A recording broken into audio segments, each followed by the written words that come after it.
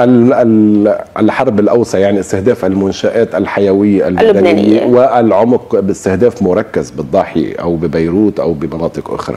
هيدي معناته مش إنه اغتيال مثلا بالضاحيه مثل ما صار مع الشيخ صالح العروري أو صار مع فؤاد شكر. نعم. لا عم نحكي إحنا عن استهداف مثل 2006 هونيك بنكون صرنا بمحل بمحل, ثاني كليا.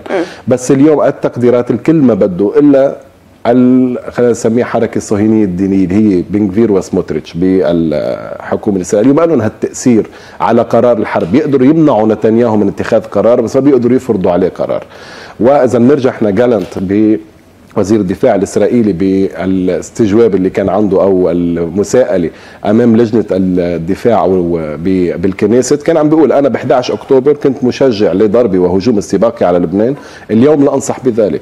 وامبارح بالاجتماع الحكومة الإسرائيلية أعاد عدم تأييده للحرب الواسعة مع لبنان لأنه لها حسابات تختلف كليا عن حسابات غزة. يعني منا حتكون جبهة سهلة لا على جانب لبنان ولا على الجانب الإسرائيلي فالكل نعم. عم بيحاول يهرب من الانزلاق نحوه وإن كان نتنياهو يفضل بقاء الاشتباك بس لا يعني أنه يريد توسع الاشتباك إلى الحد الأقصى نتنياهو بيفيده الوضع الحالي اليوم يعني استطاع أن يضرب بقلب طهران يغتال فؤاد شكر بقلب الضاحيه آه، يضرب القنصلية الإيرانية يغتال محمد رضا زاهدي. كل هذه الأمور ما بتزعج نتنياهو عم تعطيه ما يريد بدون أن ينزلق إلى صحيح. ما هو أخطر. هذا اللي بدي أقول لك يعني اليوم نتنياهو طبعا ما بيناسبه آه، توسع الحرب لأنه بده يصير آه، حزب الله.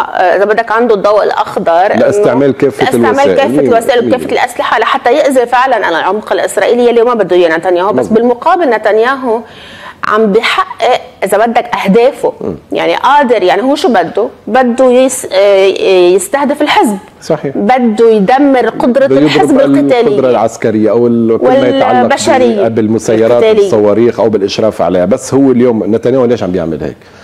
التقييم الإسرائيلي أنه الحزب لا يريد الحرب الواسعة. نعم. عم بيستغل هذا التقييم لتوجيه الضربات. والحزب أيضا بتقييمه أنه نتنياهو لا يريد لا الحرب الواسعة. نعم. عشان هيك عم بيستمر بالضربات. بس الاعتماد على هيدا هو لعبة حافه الهاويه نعم. يعني أي نقطة غلط أو حساب غلط أو ضربة غلط ينزلق الجميع بيروحنا على غير مطرح. 100% بدنا نصير كلنا بغير مطرح. يعني نعم. يعني أوقات الواحد ما بيكون بده الحرب. الطرفين ما بدهم الحرب بس بيكون الحرب بدها الاثنين إيه؟ عشان هيك الأمريكان إجوا على المنطقة. إجوا على المنطقة مثل ما قال له هوكسين حتى للرئيس بري. نحن هون للردع لا منع توسع الحرب. يعني و... عم بيقولوا نحن جبنا هاي القوات عملنا لها لإيران ما تضربي. إيه هذا اللي عم بس كمان قال إنه لدينا الاسطول البحري ونتمنى أن لا نستخدمه. هو عم بيقول هيك بس منه منه بالمعنى كان التهديد إنه بده يضرب لبنان أو هذا لا عم بيهني كل هالهدف الأمريكي الحشود العسكرية جابوها مثل ما جابوها بأول أكتوبر بس اليوم الفرق إنه عززوها أكثر وفي توتر أكثر عم بيجيبوها اولا بالدرجة الأولى حتى كان إذا كان لابد كان إيران بدها تضرب. ليشاركوا بعمليات التصدي مثل نعم. ما صار ب 13 نيسان. لأنه حيكون الضرب على مستوى أوسع كان حسب ما عم بيقولوا الإيرانيين. فطبيعي الاعتراض بده يكون على مستوى أوسع. وكمان لثناء أو محاولة ثاني إيران مثل ثاني إيران عن استخدام القوة الصاروخية والمسيرات باستهداف العمق الإسرائيلي هذا كان السبب الأساسي لوجود هذه القوات بس ما بيعني أنها في لحظة معينة قد تتحول من قوات ردع دفاعية إلى قوات هجومية في حال صار في هجوم واسع نعم. من قبل المحور على على العمق الإسرائيلي. ساعتها هم بنكون لا هذه القوات بتصير قوات هجومية باقل من ساعة يعني مجرد تمركزها بالمنطقة وإن كان لا الردع ولا الدفاع وليس للهجوم بأي خطأ حسابات. إذا صار مثلا هجوم واسع على العمق الإسرائيلي من أكثر من جبهة وصار في أضرار كبيرة هذه القوات تتحول تلقائيا لقوات هجومية. طبعا. فعشان هيك الأمريكان كانوا عم بيجيبوا هذه القوات بس هذا السيناريو إلى أي مدى؟ هذا السيناريو إلى أي مدى هو سيناريو واقعي؟ خصوصا من بعد ما شفنا ردود الفعل الإيرانية خصوصا من بعد ما شفنا آه، يعني ناطرين الرد آه، لحزب الله يلي كمان هيك مصادر مقربه منه قالت إنه هو ما رح يرد قبل انتهاء المفاوضات. آه هذا السيناريو إنه الرد الكبير من لا منه وارد اليوم؟ اليوم ما بقى وارد. كان وارد باللحظات الأولى لحظات انفعال. أو لحظة خلينا نسميها لحظة عاطفية وغضب وهذا على الآخر إلى آه تقليم أو حد أو ضبط هذه صورة هذا الرد إذا بده يكون حتى كمان إذا بنشوف وأبقاء إيران تحت السقف المطلوب لها طلع مستشار الرئيس بشيكيان وبلش يميل إلى نظرية العمل الأمني لما يقول أنه عمل أمني يعني إيران تصير تعتبر نفسها غير ملزمة برد عسكري.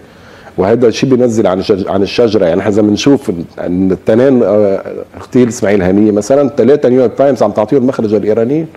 عم بتقول لا عبوة ناسفة زرعت بقلب هذا. عم الإيرانيين ما أخذوا بالرواية. رجعوا نزلون إياها بالواشنطن بوست ونزلون إياها بالجارديان ليمشوا فيها.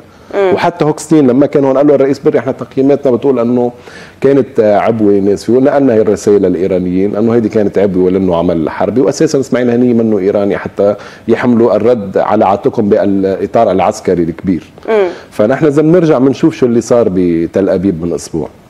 كان في محاولة لتفجير سيارة مفخخة. نعم يعني انتحاري كتائب القسام وسرايا القدس ما بتشتغل من عندها يعني بهذا الإطار بالتحديد بقرار يعني استراتيجي مثل إنه كان عم كان في محاولة للرد الامني مقابل عمل أمني. محاولة للرد بعمل أمني. الارجح هيك لأنه القسام وسرايا القدس مرتبطين ارتباط عضوي بفيلق القدس الإيراني. يعني في بقراءة اشمل لأنه كان فين يردوا يقولوا ما نحن. مثل ما الإسرائيليين لليوم لم يتبنوا اغتيال إسماعيل هنيه بشكل معلن كما هو الحال مع اغتيال فؤاد شكر. وإن كان أيه. بعد فرضية العمل العسكري باغتيال هنيه موجودة. بس نحن لما لما توجهت ضربة الضحية بعد ربع ساعة كان متحدث من الجيش الإسرائيلي عم بيعلن مسؤولية الجيش واستهدفنا فؤاد شكر وبيعلن بس بس موضوع إسماعيل هنيه نعم. ما في إعلان رسمي إسرائيلي بغض النظر عن روايات الإعلام. وهذا أنه الاسرائيلي عم بيخليها بالإطار الأمني. وبالتالي اليوم الرد الإيراني أصبح يعني آه نزل إذا بدك نزل درجة عن نزل درجة بينما اليوم رد حزب الله مختلف. لا مختلف ليه؟ لأنه طبيعته مختلفة. الهجوم كان هجوم عسكري بطح النهار بقلب الضاحيه الجنوبيه بس كمان إذا بنرجع لخطاب السيد حسن بذكرى أسبوع فؤاد شكر كان حكي عن الرد المدروس والحكيم. نعم.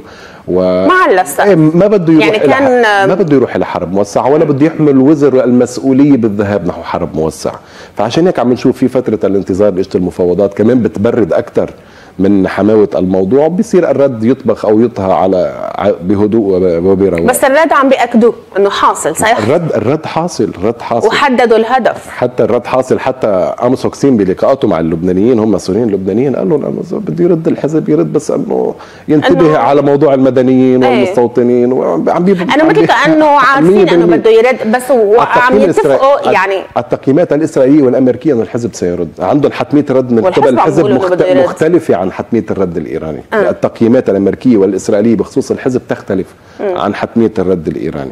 الحزب بده يرد بده يرد. كيف سيكون رد الحزب؟ هلا هل ارجع حسب الخطابات؟ بده يكون على هدف عسكري مؤثر. أه.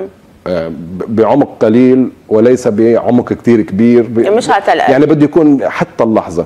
يمكن يكون بمحيط تل أبيب بس ما يكون قرب هدف مدني. لأنه لأنه, لأنه الإسرائيلية حطوا وضعوا معادله إنه تل أبيب ترد على تل أبيب نحن رح نقصد إيه هو بيروت. هو في خشية كمان أكثر إنه أي رد يعني ما بدهم يضربوا أهداف تكون قريبة حتى على مدنيين. أهداف مستوطنين. ليه؟ لأنه أي ضربة أو خطأ بالضربه حيعطي الإسرائيلي الذريعة لتوجيه ضربات أكثر مثلا بقلب الضاحية أو بغيرها. نعم.